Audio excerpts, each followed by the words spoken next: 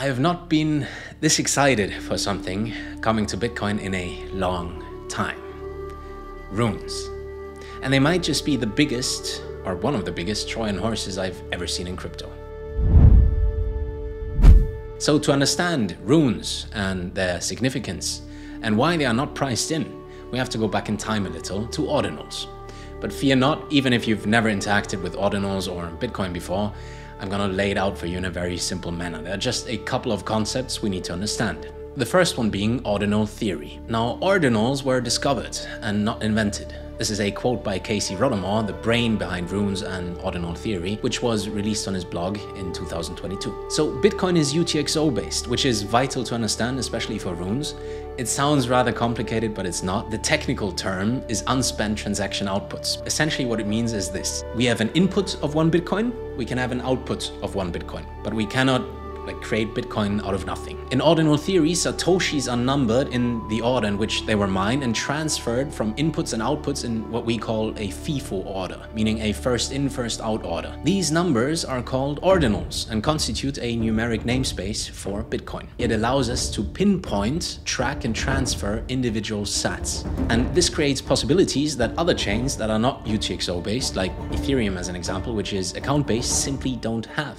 So the first key takeaway is that we can look up ordinals by name, number, decimal, or degree. And this brings us to rare sats.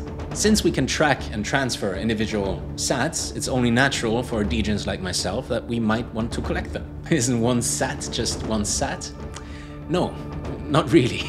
Bitcoin has periodic events, some frequent, some more uncommon, and some that are incredibly rare. And combined, those events form a system of rarity blocks as an example. Like every 10 minutes, we get a new Bitcoin block. The first Satoshi of a new block that is being mined is an uncommon SAT. The next one is difficulty adjustments. Every 2016 blocks, or like roughly every two weeks, the Bitcoin network needs to adapt to the changes in hash rate. And the first SAT of this block is considered a rare SAT. The next thing we have is the halving, which is happening very soon. This happens roughly every four years or precisely every 210,000 blocks. And the first SAT mined is considered an epic SAT.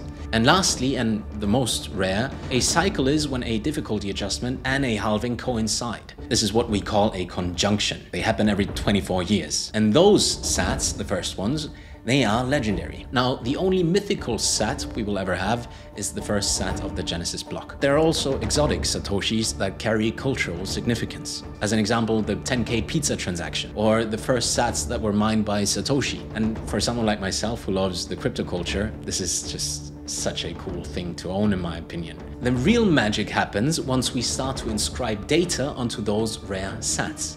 And this brings us to inscriptions. It's pretty much what it says. We are inscribing data into one single Satoshi and we can determine it by UTXOs and ordinal theory. Back when ordinals first emerged, the 4 megabyte block space of Bitcoin was a huge hard cap of what ordinals were capable of. And it even sparked controversy within the Bitcoin OG community because ordinals started using up a bunch of block space. And obviously that made miners very happy, but transactions a bit more expensive. I mean, look, the core principle of Austrian economics and Bitcoin is that all value is subjective, and if degens think that their digital artifact holds value, so be it. To make things less expensive, Bitcoin devs invented something called recursive inscriptions, and it's such a genius approach in my opinion. With recursive inscriptions, developers can now call data from already existing files and inscribe something new, meaning they don't need as much space and they can create incredibly complex things. The first ones to ever do it was OCM Dimensions, Shout out to Danny and the On-Chain Monkeys, they're always like two steps ahead, it's pretty nuts. Now, the most vital part to understand is how inscriptions differ from your favorite ETH NFT or Solana NFT. But, I mean, NFTs, the funny thing is that the NFT is not even on the blockchain, it's just a URL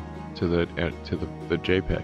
Once the company that's housing the image goes bankrupt or ceases to exist, the image does as well.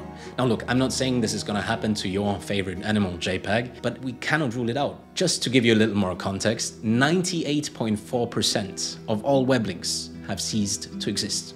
They're just gone. And not just any, we are talking about 70% of Harvard Journal citations, or roughly 50% of Supreme Court documents. Poof! Bitcoin fixes this, it really does. We don't need a sidechain. We don't need AWS like Amazon Web Service. We don't need IPFS. They're on chain, all of them.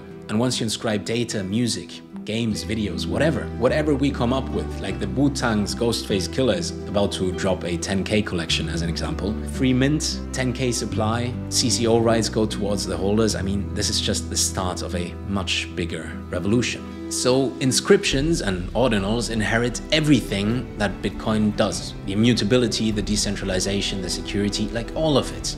And this is why we call them digital artifacts. Once you inscribe something, anything, it will be there until the end of time. They kind of are what NFTs wanted to be. All right, now that we are up to speed, let's talk about runes. And man, it's gonna get wild. Do you remember what Saifedean Ammous said about Ethereum? Would you classify Ethereum as a shitcoin? For sure, it's the um, it's the mother asshole from which the shitcoins spring. this is coming to Bitcoin. And let me be very clear 95% of my portfolio consists of Bitcoin because I think it's one of the most important discoveries of humanity, like perfect digital scarcity. And I'm not aware of any better store of value and my time, and we desperately need it to separate money from state, right? This is its job.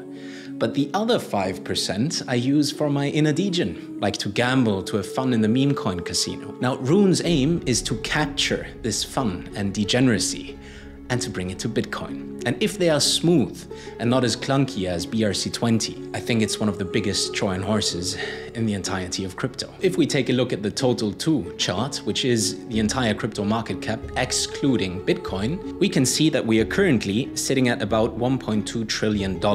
In contrast, Bitcoin is sitting at 1.36 trillion. So if runes just capture 1% of the total 2 market cap, and I don't think this is hopium, the entire protocol should be worth over $10 billion.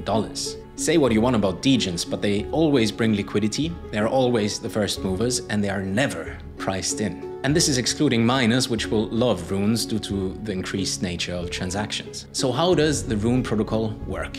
Same as Bitcoin and unlike BRC20, it is UTXO based. But runes take it one step further. Rune UTXOs are extended to not only have Bitcoin, but any amount of rune or any number of rune attached to them. So now one output can have like 50,000 sats, 20 Valhalla runes as an example, 5 chunky runes and 680,000 slim tiny runes just making those up. Another important aspect is that names will all be unique meaning we cannot create a rune that has already been created. Creating a rune is going to be called etching, and claiming a rune is going to be called minting. So to stop us from etching all of those dope and short names, there is a restriction on the name length, at least during the start. Over the next four years and until the next halving, runes with shorter names will slowly become available. This happens roughly every four months, which comes down to the number of blocks in a halving, which is 210,000. We divide it by 12 and this gives us an output of like roughly four months. So in April, we start out with 13 characters. By August, we will have 12. By December, we will have 11 and so on. Just like inscriptions, runes have numbers attached to them, meaning the first rune that is set to go live after the halving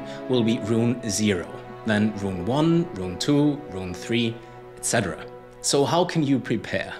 Firstly, get yourself a Xverse wallet as it'll support runes. Secondly, and this really is non-financial advice, check out all of the rune-specific ordinal projects on Magic Eden. Like Runestones and the RSIC Meta Protocol come to mind immediately, but there are many more. Before you ape into them, know this. Every project that is planning on delivering runes will not be delivering runes 0 to 9 the single digit runes, because they will be hard coded into the protocol. And it's my belief that at least the single digit runes will be the most sought after, because let's face it, provenance matters in crypto, like a lot. And nobody is gonna airdrop those runes. They will just come into existence at block 840,000. And then it'll be a real free for all, basically, like a first come, first serve. So be ready for that. It looks as if there was one chunky rune in there, low divisibility, low supply, non-financial advice. So runes are set to go live at block 840,000 after the halving, hopefully at 420, that would be awesome. I've recently joined Pluid.